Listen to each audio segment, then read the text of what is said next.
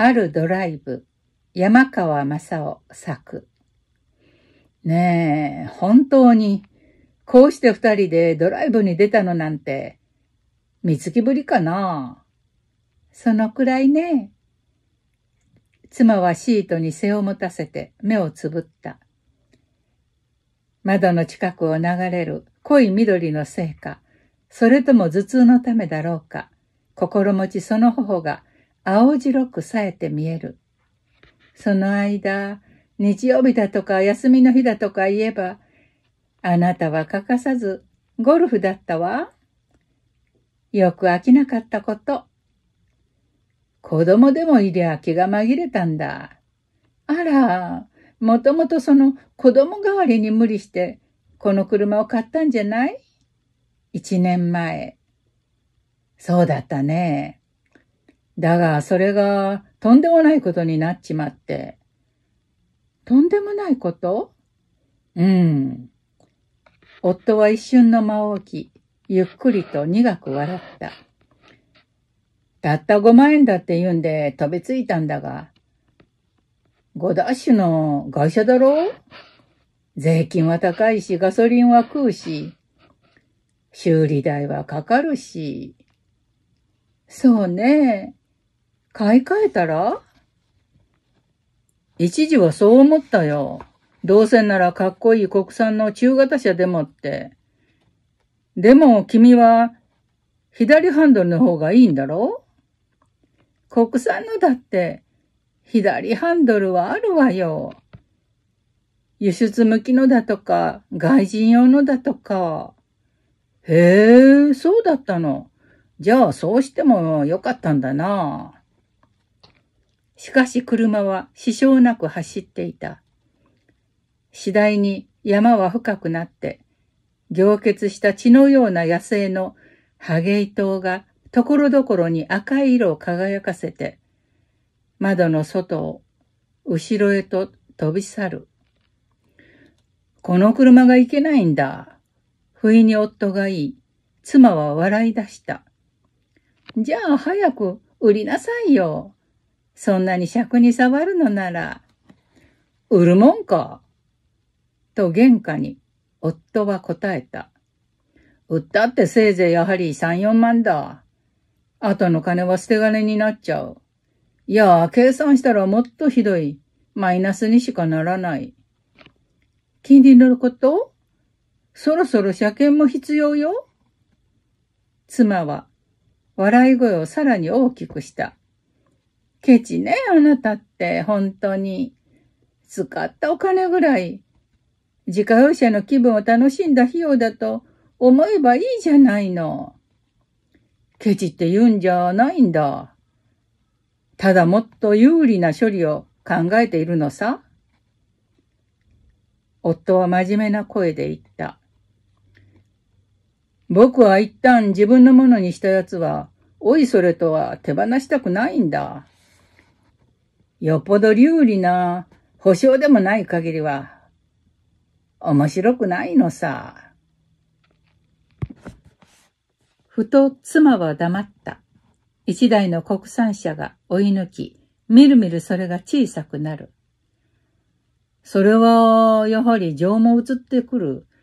買いたての頃はよく君とドライブをしたね。箱根、三浦半島、房総、伊豆、日光、交代でハンドルを握って、そう、こっちには一度も来なかったな。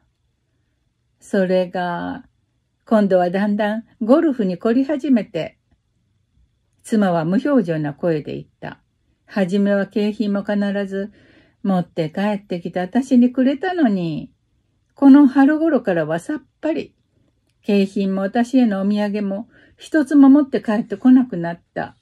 いくらお仕事かもしれないけど、私まるで忘れられてるみたい。そう、春だっけね、あれは。まだこの辺の山に桜の花が残っていたっけえ？こっちに来たことあったの？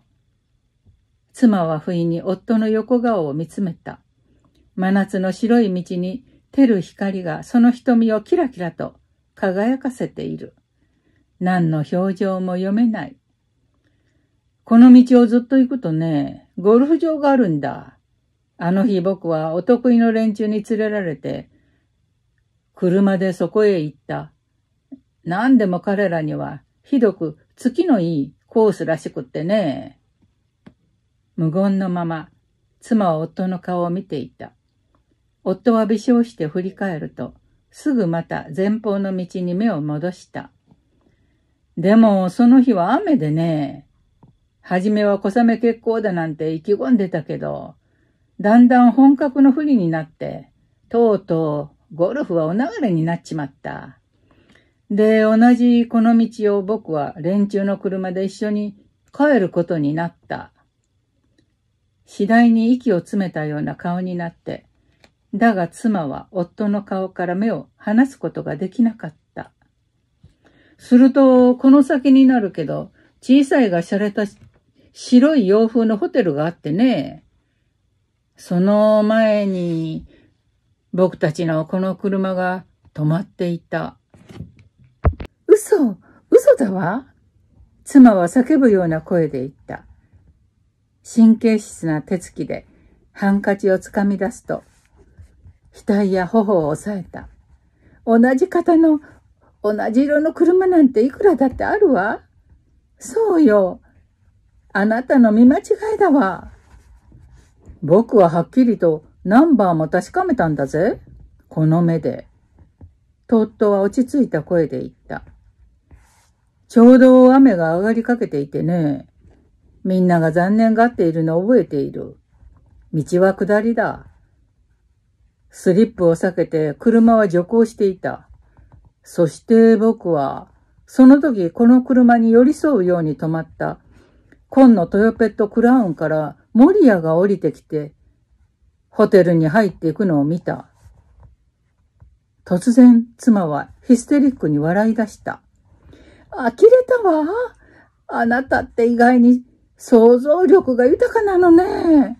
まるで私と森谷さんとがそこで合いびきをしてたみたい。すごい妄想かね。夫は取り合わず、前を見たままで言った。森アとは同じテニス部の仲間だった。僕より彼の方が君とは昔からの知り合いだ。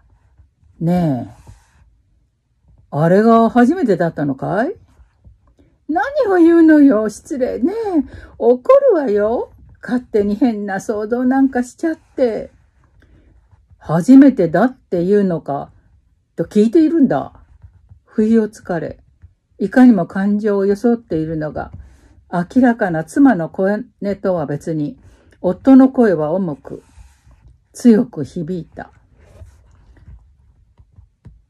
妻は顔がこうばり、緊張に頬が震えるのが分かった。青ざめ、何も言わなかった。白を切っても遅いさ。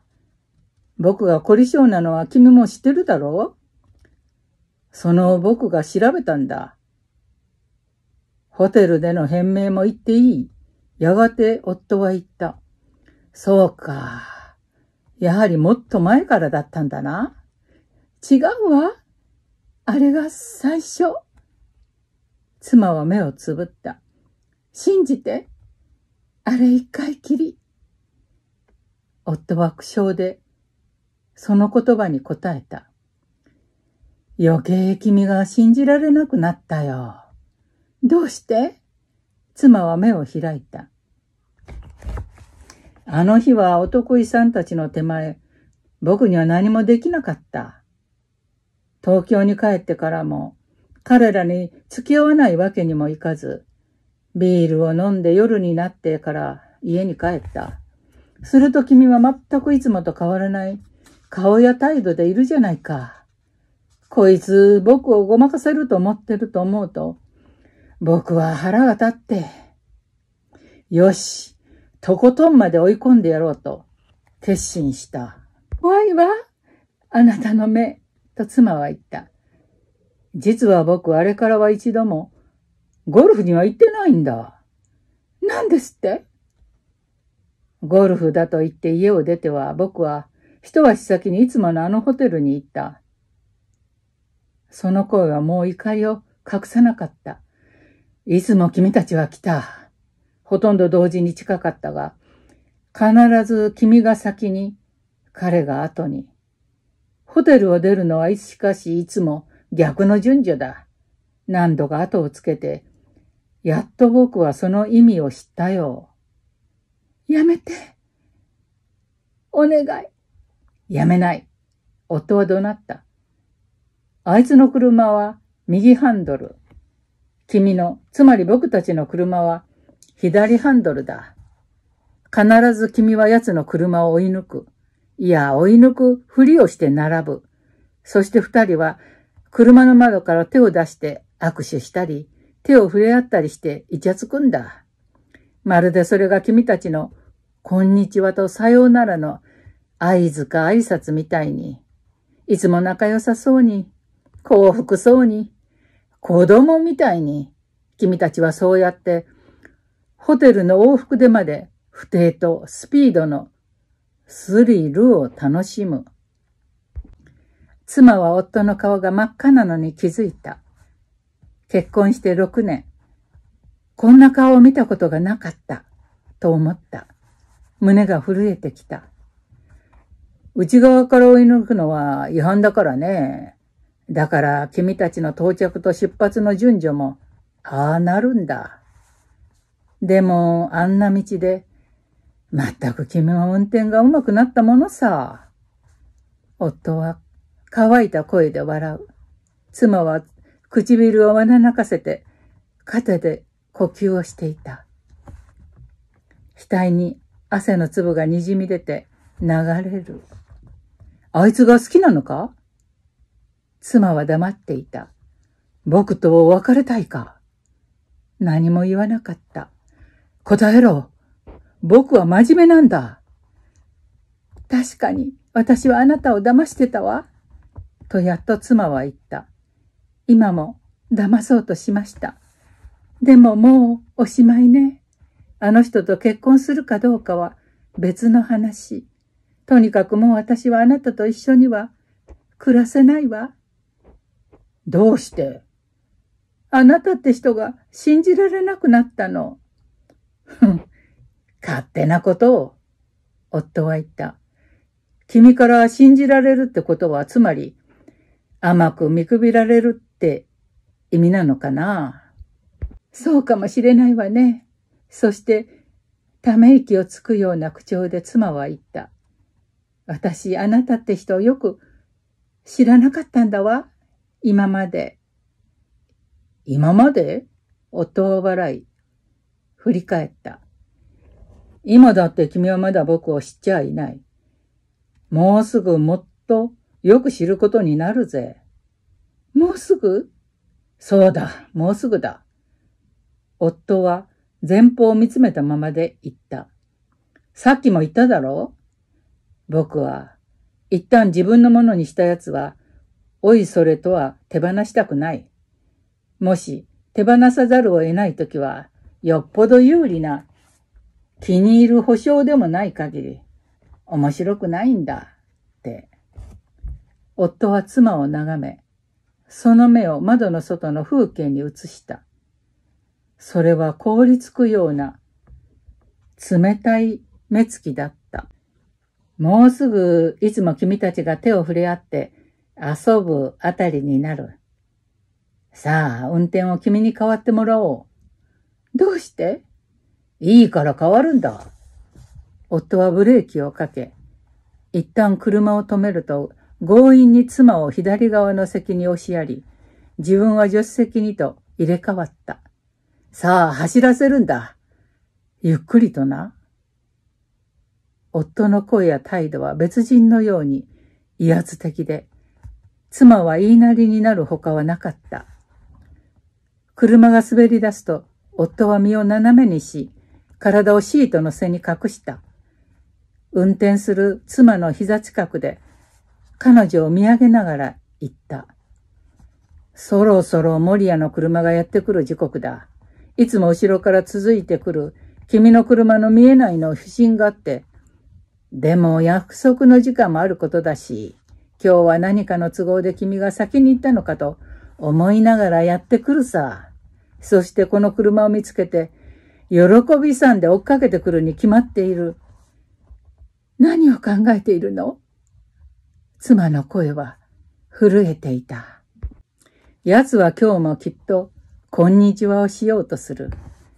幸い人気ない山道だ。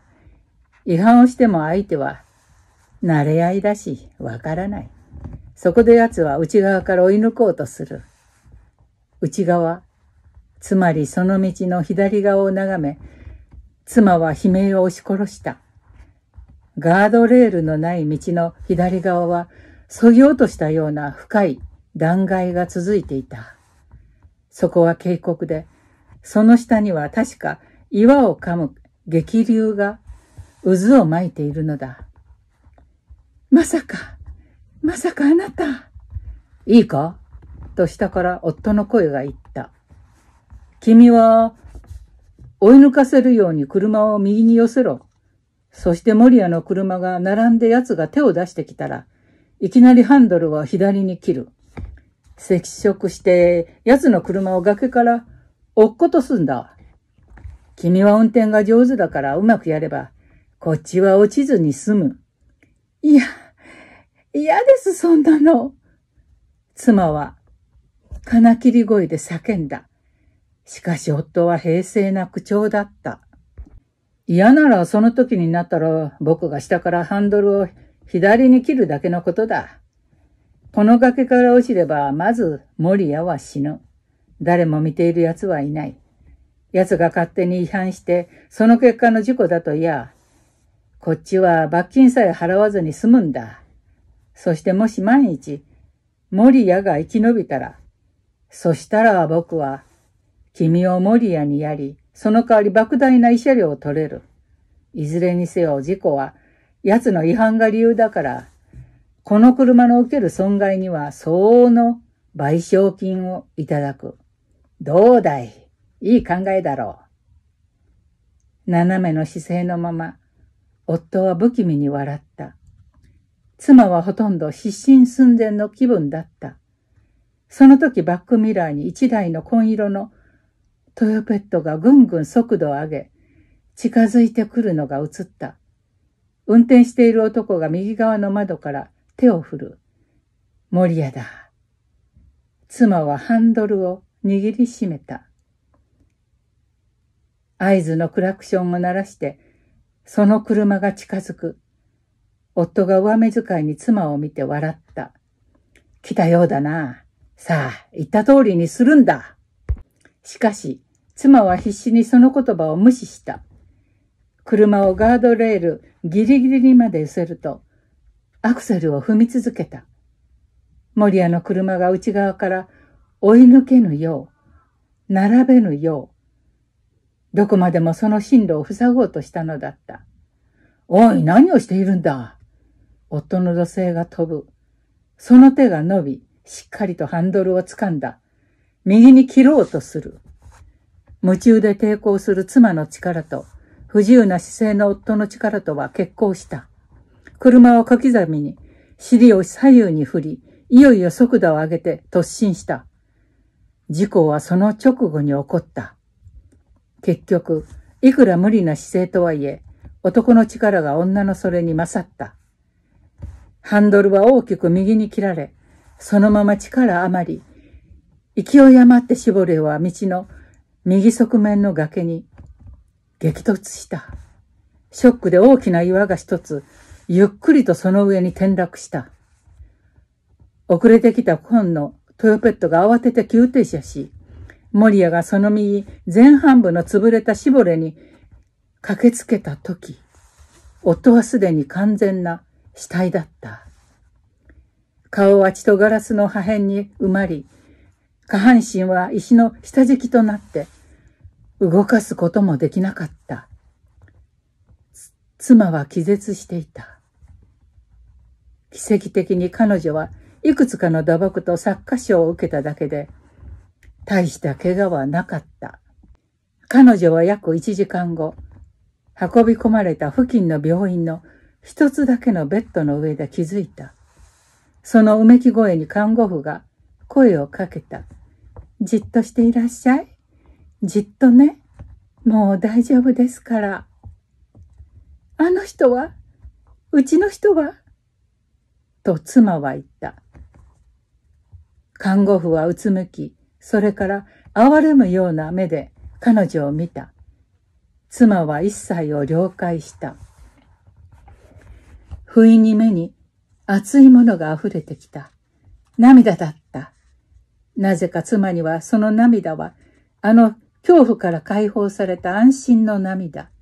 命が助かった喜びの涙ではなく、まして夫と別れ、多分守谷と一緒になれることの、その嬉しさの涙でもないのだという気がした。その時彼女の意識には、あれほど真剣に一途に愛してくれた、あの夫しかなかった。きっとこの涙は、あの夫を永遠に亡くした悲しみの涙なのだ。お気の毒に、と看護婦が言った。あなたを運んできてくださった方も、とても同情して、かわいそうにってばかりおっしゃってましたよ。そして奥さんにこの手紙を渡してくれって、手紙を受け取りながら、妻は聞いた。どこにいるの？その方。それが通りすがりのものだとだけで、名前もおっしゃらずにお帰りになってしまって、ふと胸にひらめくものがあった。妻は小さく折りたたまれた白い紙を目の前で開いた。うまくやったな。見覚えのある守谷の字が並んでいた。わかっている。君はあいつを初めから気絶させて、あの席に乗っけといた。ごまかさなくてもいい。その証拠は僕に、車には君一人しか見えなかったことだ。そうじゃなくて、あのゴルフ教のあいつがなぜ僕と約束したホテルに行く君の車になんか乗ってたんだ？だがいい。頭のいい君のことだ。この事故に見せかけた計画殺人にも、なんとか辻褄を合わせるだろう。しかし僕は君が怖くなった。君の夫殺しを忘れてやる代わりに、僕をや巻き込むのはやめてほしい。僕が違反をしそうになったせいだ、なんて言わないでほしい。実際僕は何も知らなかったんだから。今僕は、奴に悪く、奴がかわいそうな気持ちでいっぱいだ。二度と僕は君に会いたくない。さようなら。君の運の強いことを祈る。違う、違うってば。と無意識につぶやき、しかし妻にはもはや弁解する気力もなく、それを信じてもらえないことも分かっていた。全身の痛みと新しく湧く涙との中で、妻はふと夫の残したわずかな遺産の計算を始めている自分に気づいた。